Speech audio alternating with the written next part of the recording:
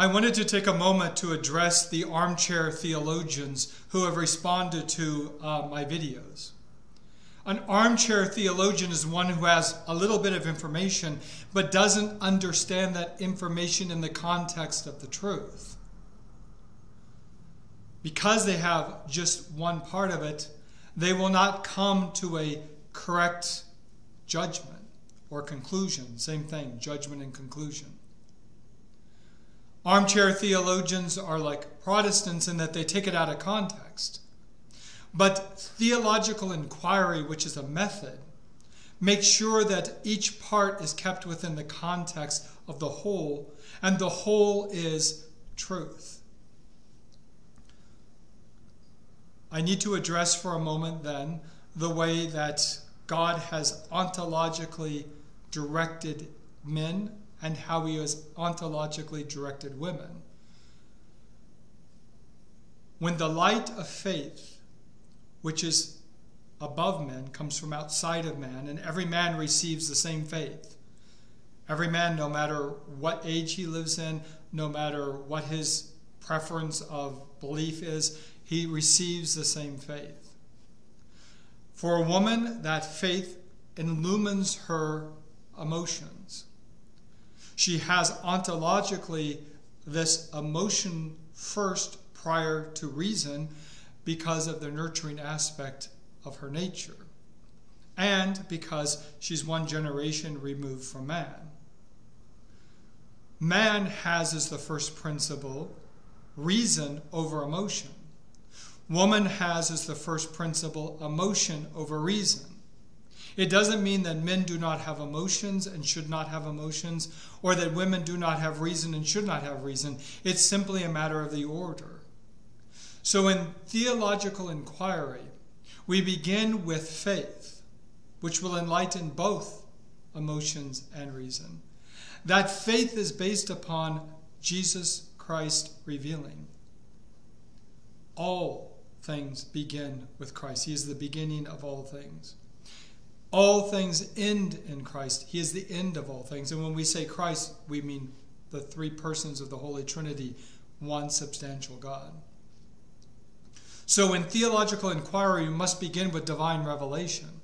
We must begin with what Christ has revealed and handed to his apostles, and then given the apostles the authority to protect and defend those truths and to provide for the faithful through the sacramental grace of the church. If we forget this is the first principle, we will come to a false conclusion. So, this is faith. This is the faith that enlightens reason. Reason is within man by his nature. And again, men ontologically have reason as their first principle, and that in order to assist them to protect, defend, and provide for. Women ontologically, because of one generation removed, have as their principle emotion, and that so that they may nurture. Within women, then, because of the nurturing, they see more clearly the dangers to their children and to others. They see the problems more clearly. But men are called to see the solution to those problems. This causes a conflict. And let me be stereotypical here for a moment, but follow, stay with me. Women talk. They talk because they see problems. They say to men, This is a problem, this is a problem, this is a problem. And men automatically are thinking of the solution. But a woman satisfies her emotion when she is able to talk out her problems and be heard. A man is, a man is not satisfied until he can come up with a solution. And so this causes a conflict between men and women. You know, in the past, women would go into the kitchen and prepare meals. That's because they nurture. In the kitchen preparing meals, they would talk about their feelings, about the problems. They didn't talk about solutions. This is where gossip comes from as the feminine vice. It doesn't mean that every time a woman speaks about a problem or a situation she's gossiping, but you can fall into it very easily. Men would go to the parlor. They wouldn't talk about problems or feelings. They would mention problems and then they talk about solutions. this is where these great men of history have risen above other men. They take counsel. They come up with solutions to the problems, which are based upon the light of faith and reason. And then they give them to women, and the women find the security in that, as we all find security in the truth. Women should not be involved in this process because men want to protect and defend. But now, because of the whole idea of equality, you have men and women always having to be together, always having to discuss problems and solutions together. And therefore, you have not raising men up to the level of the reason, but you have to lower men down to the level of emotion, make them effeminate. Look at the problems we have in the world today. Let's just use some examples like what's going on in Georgia, what's going on in New York and Washington, D.C. You have this woke society that says we have to allow women to be in charge. And not only women, women that are minorities. And not only women that are minorities in what is called race by them, but also women that are minorities when it comes to sexual preference. These women need to be in charge. They need to get together and talk about solutions and apply those. And the men need to stay out of it. This is what is causing much of the division in the world today and confusion and insecurity. I am advocating then for truth. I'm defending truth. I'm defending divine revelation the priesthood, the episcopacy, is reserved to men, but to men, not boys, and not to the effeminate, as it has been in the modernist church, because of the woke idea that we're going to find equality by getting rid of all of these um, social constructs, they call them. It's been disastrous. It will continue to be disastrous. But one of the reasons the young don't trust my generation, I'm 60, is because we're the ones that dropped the ball. We're the ones that bought into all of the feminist things of the 70s. We're the ones who didn't stand up and defend and protect and provide for. Not all of us, of course. There are some that see the situation, the problems, and say, I'm going to stop complaining about it and do something. That's what we're trying to do here. But we're not going to get anywhere if we do not base our solution upon theological inquiry. We must start with Christ, not with the problem, and then try to work back to Christ. That's the disorder that's taking place right now.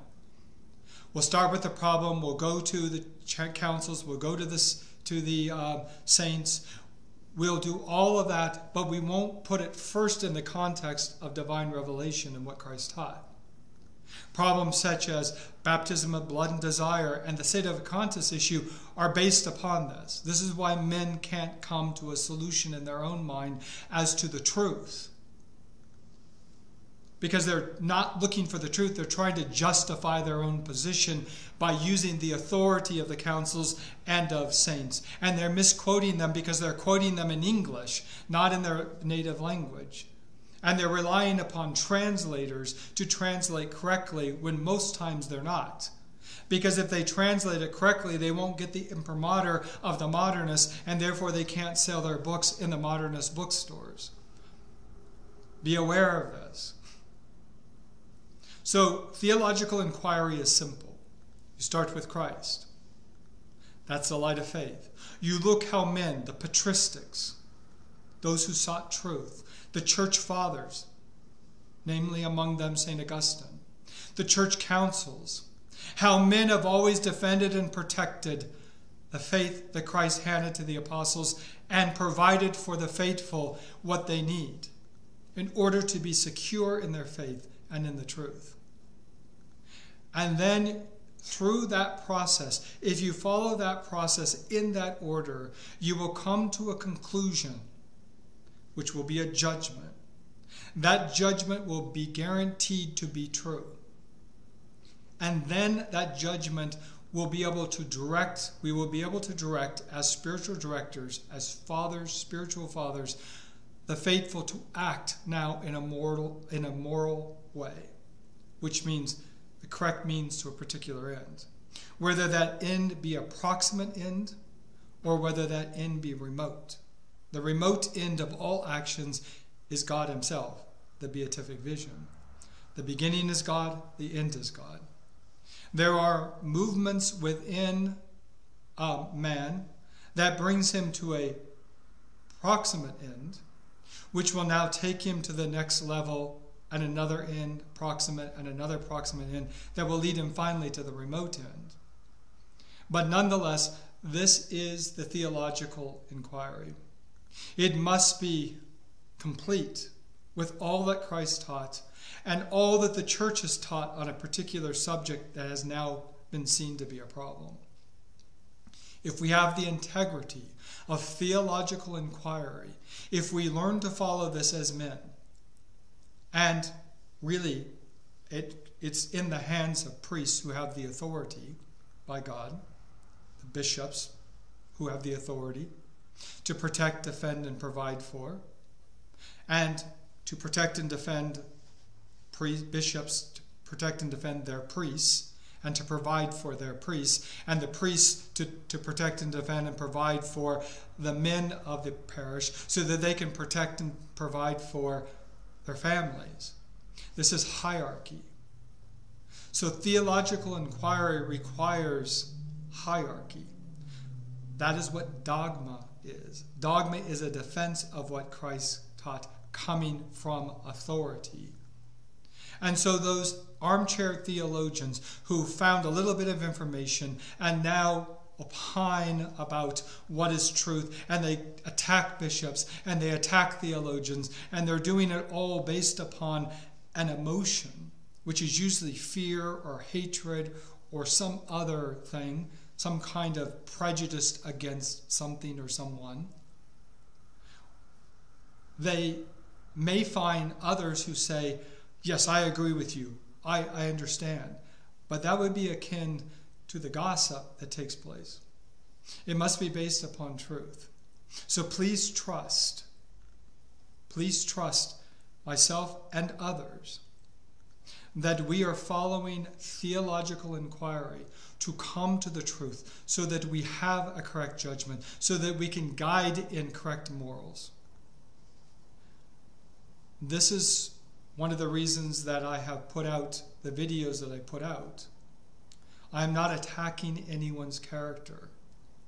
I'm attacking, not attacking, I'm sorry, I'm pointing out the fallacies within the theological inquiry and therefore the judgments that are being made.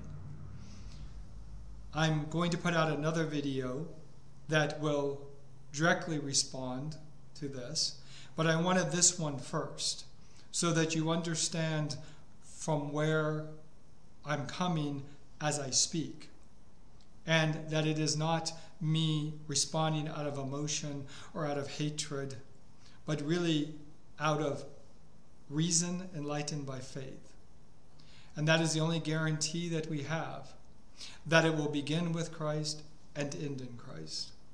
And therefore, will bring you to the final end the beatific vision, to be before God and to see God and to be seen as you are, as God created you.